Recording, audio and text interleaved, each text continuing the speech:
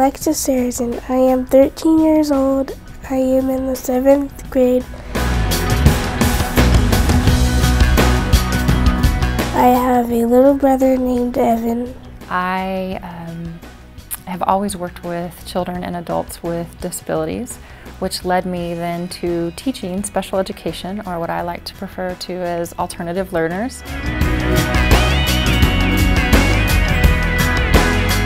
Alexis is one of my highest readers and one of my hardest workers. I noticed a change in her reading from last year to this year and she's improved, I'd say by one solid grade, which is really big for one of my students.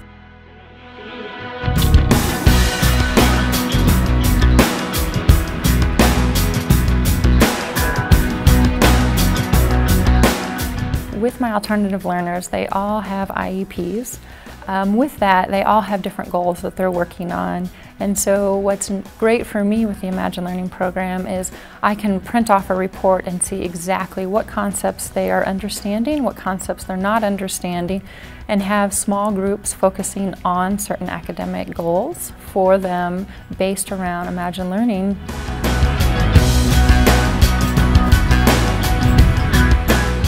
For RTI, my students are at the very top. They're the tier three. They're the, the, very top of that pyramid. And so within that, they don't have a lot of room to move. Um, and so Imagine Learning is a great intervention tool for me and a good curriculum piece that I can pull from from the charts and say they're not understanding this. We need to give them one-on-one -on -one intervention so they do understand this concept for them to move on.